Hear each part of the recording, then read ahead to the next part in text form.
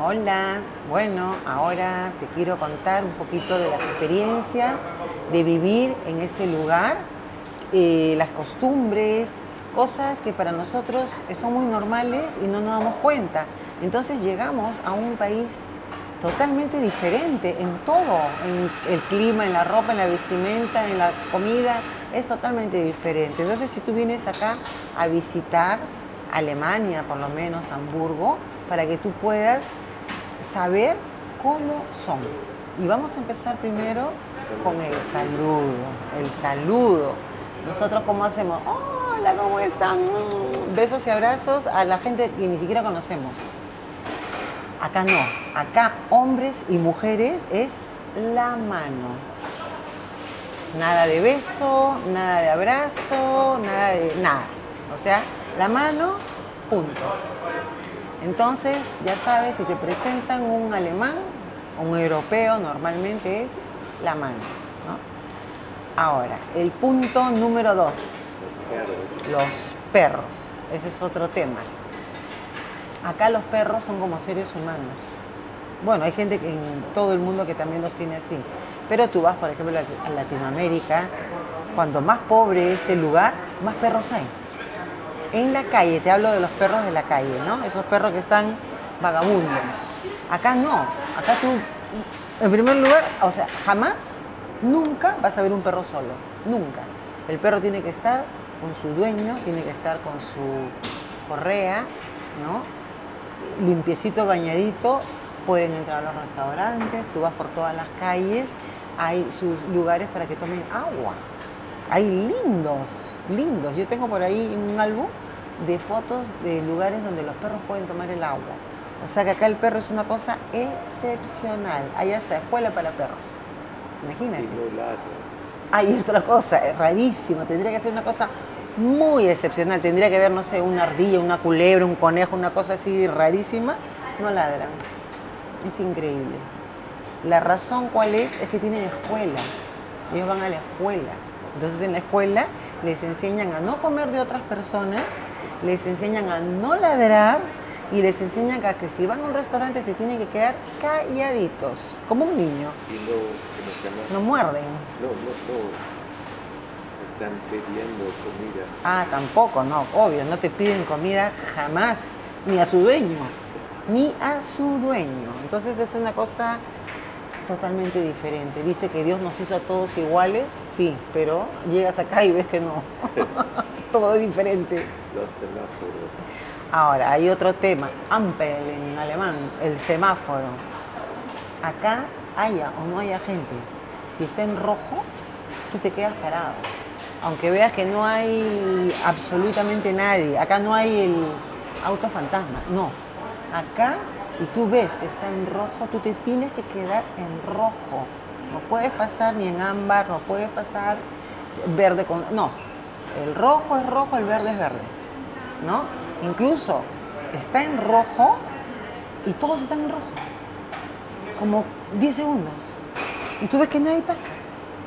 Nadie toca la bocina, Ay, apúrate, eh, ya, ya, lleva, porque tengo que... No. O sea, mudos todos y pasas, cuando cambia en verde, ahí tienes toda la libertad, la bicicleta, los peatones, los, todos los que tengan que pasar, pasan ahí en verde.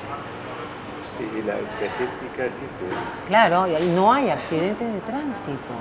Van a 60 kilómetros y no hay accidentes de tránsito. Sí, hay países de menos. El continente más peligroso es América del Sur. Sí, y el peor de todos es el Perú, donde más accidentes del mundo de automóviles es el Perú.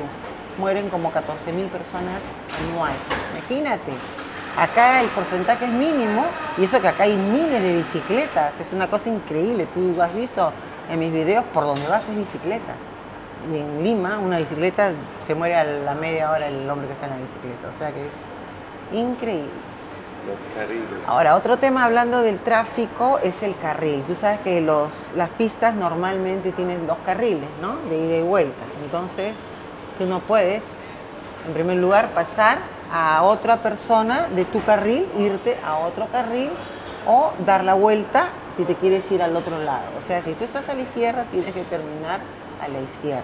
Si estás en la derecha, tienes que terminar en la derecha. O sea, tienes que respetar tu carril. Eso también pasa en Estados Unidos. En el Perú, por lo menos lo que yo he visto, en Venezuela, en Argentina y los países que he visitado, pasan el carril sin respeto alguno, ¿no? Y eso acá, imposible, no vas a ver. Y si llegara a pasar, si tú lees en el periódico que ha habido un accidente, que es una cosa rarísima que la ponen en primera plana, es porque vino el auto fantasma, dio la vuelta en U, viene un tremendo bus, eso ha pasado hace poco, ¿ah? Chao. Simplemente por dar la vuelta en U, porque vino el auto fantasma. Propina. La propina. Ah, ya, y ahora la propina. La propina es algo también muy importante. Es, es un respeto hacia la persona que te está atendiendo. Y bueno, como todos los países, casi siempre es el 10%. Entonces, tú al mozo que te atiende le tienes que dejar el 10%. Ahora, eh, también acá hay muchísimos baños, también tengo un playlist de baños que más reluciente uno que el otro, son brillantes, tiene papel higiénico, tienen eh, todo para lavarte las manos, secadora, champú, desinfectante, flores, saumerio, incienso, eh, lejía, o sea, para limpiar el water si por ahí lo ensuciaste más de lo que tienes todo en el baño. Entonces, hay algunos baños que tú vas a ver una persona y le tienes que dar una propina, que está entre 30 y 50 céntimos, porque esa persona está viviendo de eso. Entonces, tú tienes que tener esa costumbre de entregarle una propina a esa persona que está en el baño. Sinceridad. Ahora, los alemanes son las personas más sinceras. Tú sabes que hay una frase que dice la verdad duele, ¿no? Entonces ellos te dicen tu verdad directamente. No están con, nosotros decimos la política, ¿no? O la hipocresía. No, te dicen directamente, mira, ¿sabes qué? Eh, no me gustan tus zapatos, o no me gusta tu pelo, o lo que sea, te lo dicen directamente. Nosotros normalmente, no, no le digas, como le pobrecito, se va a molestar. No, ellos te dicen directamente, ¿sabes qué? Cuando vengas a mi casa y entres, sácate los zapatos, ¿no? O si vas a entrar al sauna, como me ha pasado, me dijeron, este, Raus. Yo, ¡ah! ah ¿Qué cosa es Raus? Era fuera. ¿Por qué? Porque no me di cuenta, entré al sauna con zapatos. ¿no? O, o, pones tu popó encima del lugar donde estás y no te pusiste una toalla, ¿no? O me peinaba en la toalla, perdón, me, peinaba y lo veía normal, ¿no? Me voy a peinar. No, no te puedes peinar en la sauna, por ejemplo. Y te lo dicen, te dicen, señora, eso no debe peinarse.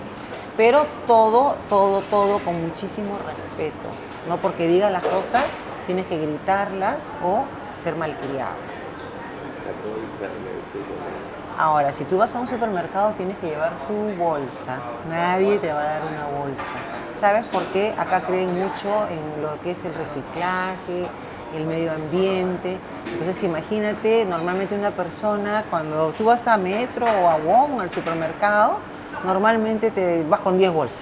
Imagínate esas 10 bolsas, cuánto tiempo demoran para disolverse. Años, son años. Imagínate cada persona 10 en un supermercado que está lleno de gente, entonces eso es no cuidar el medio ambiente. Normalmente ellos te venden una bolsa de papel, más fácil de reciclar, ¿no? Sirve, te reciclan, el plástico es muy difícil. Y bueno, ellos tienen esa costumbre, entonces si vas a un supermercado, no esperes que te den una bolsa. ¿O qué? ¿Qué pasó? ¿Cómo? O te vas con las cosas en la mano, o llevas tu bolsa o compras tu bolsa. 10 céntimos, la más barata, tienes hasta de un euro. El domingo. Ah, bueno, acá el domingo es sagrado. Y eso que no son católicos o muy católicos. Entonces, el, la costumbre nuestra dice que viene de la religión, del catolicismo, que el domingo no se trabaja, el domingo se descansa porque Dios hizo el mundo y el domingo se hizo para descansar. Bueno, acá el domingo tú no puedes hacer nada de bulla, no puedes usar la lavadora, la aspiradora, eh, todas las doras que te puedas imaginar. Nada, no puedes hacer bulla, silencio total, ¿no? Y eh, es así, ¿no? No puedes simplemente hacer una bulla con tu aspiradora o tu centrífuga o lo que sea, porque es sagrado y los días domingos nadie trabaja, salvo excepciones que no son alemanes, son los turcos, los que tienen pues sus pequeñas bodegas donde puedes encontrar agua, un helado, ¿no? Y ellos sí trabajan, por ahí algunos restaurantes que tienen un permiso especial, pero prácticamente todo está cerrado. Ah, bueno, acá es una cosa increíble. No sé si será por el poder adquisitivo, porque ya están jubilados, pero tú no sabes lo que, o será que es una ciudad turística también, ¿no? Pero acá todo es paseo. Hay ferias, hay festivales, hay que la primavera, que la moto, que las flores, eh, que el teatro, que la exposición, que la pintura, o sea, todo es paseo, eh, diversión. Dicen que los europeos son aburridos. Mira, sinceramente, yo te digo, hablo con un latino y el domingo lo único que quiere es dormir. Estar echado, acá le dicen couch potato, echadito en su cama, en su sofá, con su bolsota de papas fritas, su Coca-Colota y que nadie le diga nada porque voy a descansar. Todo el domingo muerto de trabajar, toda la semana, entonces el domingo ni me hablen. Acá no, el domingo todo el mundo está en la calle todo el mundo está paseándose en la bicicleta, en el puerto, en un bote, donde sea, pero es, parece fiesta, parece Navidad, parece Año Nuevo, parece... Yo al principio pensé que no, debe ser por la fiesta, pero no, todo el mundo se pasea, guardan su plata para las buenas comidas, los buenos paseos, eh, la, la, buena vida. Así son. Ah, y la basura es otro tema, es increíble. O sea, tú vas por la calle y encuentras todo para reciclar. Nada botan, todo se recicla. Es una cosa increíble. La basura cada una tiene su color, ¿no? Para blanco para todo lo que es cristal, vasos. O sea, tú no puedes tirar en la basura un vaso con unos huevos con limón. No. O sea, todo va en orden. Son lo más ordenado que te puedas imaginar. Yo también tengo por ahí un video de cómo usan los desperdicios orgánicos, así se llaman para ordenar tu basura. Entonces, hay verde, hay azul, hay rojo, hay amarillo, hay blanco, ¿no? Una para cada sitio. Todo perfecto. La distancia. La distancia. Ah, ya. Eh, por ejemplo, eh, nosotros decimos que los europeos, los alemanes son fríos.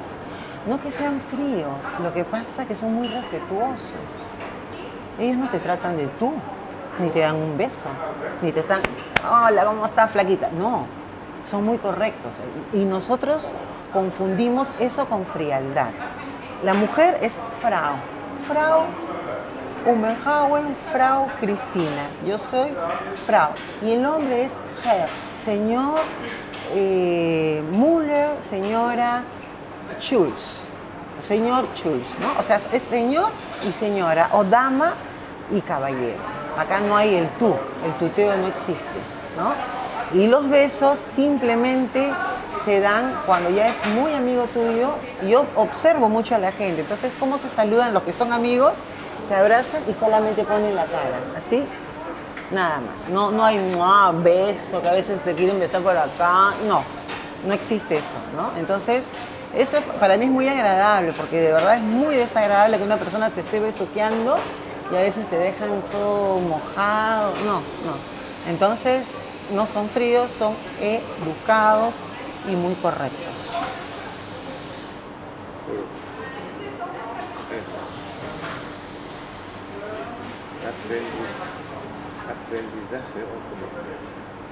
Ya, ahí, ahí córtalo ya.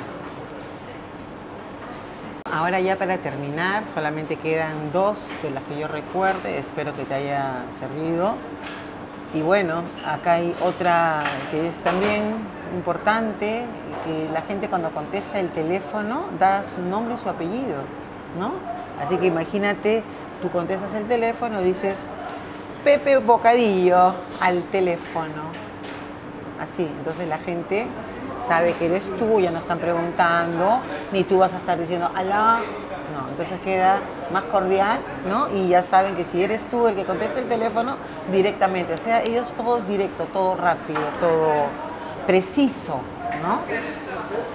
Y bueno, para terminar, es eh, un tema que hasta el día de hoy no puedo terminar de acostumbrarme, trato de hacerlo, pero me cuesta, me cuesta mucho, que es tocar, ¿no? Nosotros vemos un niñito, ¡ay, qué lindo! Un perro, ¡ay, qué bonito! Lo queremos tocar. Vemos un lapicero, ¡ay, qué bonito! todo, todo agarramos, ¿no? Yo pienso que eh, yo cuando regresé una vez al Perú y me voy a una tienda y veo que la gente todo agarra, quieren probar, quieren poner, todo tocan, entonces me chocó, ¿no? Porque está, pero es costumbre, ¿no? No puedes tocar el carro de una persona, no puedes tocar un niño, no puedes tocar a otra persona, o sea que es, que no dice, ay, qué aburrido, o sea, no, pero es el derecho a la privacidad, es que estamos acostumbrados a, tocar, que nos hagan así. Yo me acuerdo de chiquita, venía mi tío y me jalaba así. Y yo lo veía a mi tío y me iba corriendo porque sabía que me iba a pellizcar mi, mi cachete. Pero, y lo vemos normal. Entonces, eso es un poco que, bueno, también son países más civilizados, ¿no? Están más adelantados. Entonces, si vas a venir a uno de estos países, por lo menos este de acá que conozco casi todo, no toques a nadie, sé cordial, ¿no? Eh, y bueno, trata de vestirte bonito, ¿no? Yo ahora estoy con mi camisita que parece que voy a bailar algo, pero bueno, es, te ven diferente, ¿sí? Espero que te suscribas, Espero que pongas manito arriba, eso me alienta, me ayuda y como siempre me despido de ti en mi café favorito y te digo mi palabra, auf Wiedersehen. Tschüss.